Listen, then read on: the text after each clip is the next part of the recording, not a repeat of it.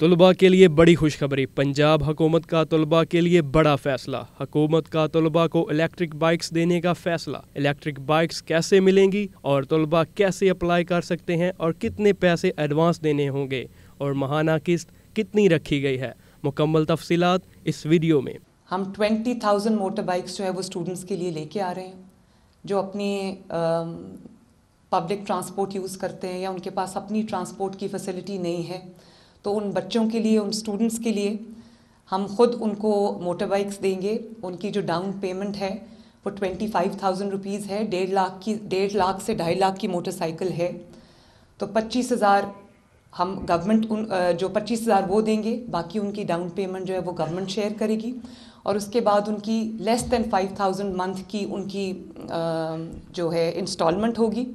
पाँच हज़ार से मैंने उसको नीचे रखा है, ताकि जो बच्चे जिनको जिन स्टूडेंट्स को ज़रूरत है और वो अपने फैमिली के लिए भी ट्रांसपोर्ट की फैसिलिटी प्रोवाइड कर सकते हैं। यूनिवर्सिटी कॉलेज आने जाने के लिए भी अपने इंस्टीट्यूशन में आने जाने के लिए। अगर वो ये चीज़ अवेल कर सकते हैं तो हमने ये रखा है। Twenty thousand is a little number लेकिन आने वाले आ, सालों में महीनों में इसको मैं बहुत ज़्यादा इन ताला बढ़ाऊँगी।